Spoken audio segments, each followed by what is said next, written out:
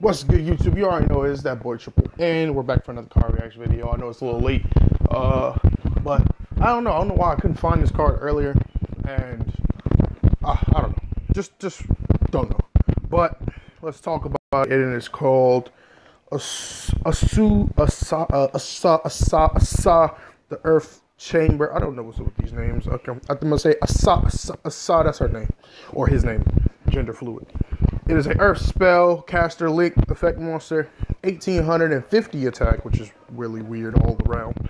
I don't know why, that's always been weird for me when it comes to Yu-Gi-Oh! And uh, it's a link 2, which is arrows, bottom left and the bottom right. It has two monsters, including Earth monster. This card is always treated as a familiar possessed card. I think there's like one of each element. You know, they always do one for whatever their element is. Um, you only can use the uh, this card's name one first and second effect once per turn. You can target one Earth monster in your opponent's graveyard, special summon to the zone this card points to. Okay, so the first effect is cool because you can just special summon any monster your opponent. You well not any monster. You can special summon a monster from your opponent's graveyard. But the problem with that is, who's to say they're using Earth monsters? If you play this card and they have no Earth monsters in their graveyard, this card does nothing.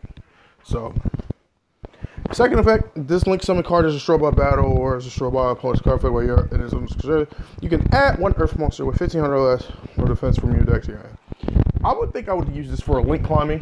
Like if I'm playing an earth warrior deck or any type of like earth deck, I'd probably use this like a link climbing targeting thing, you know. Like I would yeah. I think that was to be the main thing I would use this card for.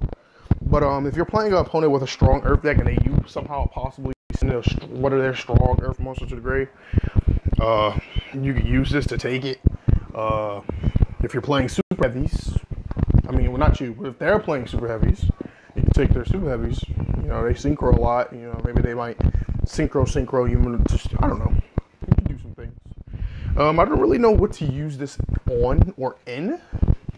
Any, like I said, any Earth deck, but it's it's, it's too it's too focused on Earth for it to be really that good. In any Earth deck, you could just use it. But other than that, it doesn't really do much.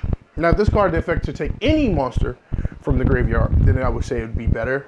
But since it don't, it's not all that good. But, I don't know. That's just me. If you agree or disagree with me, let me know in the comments.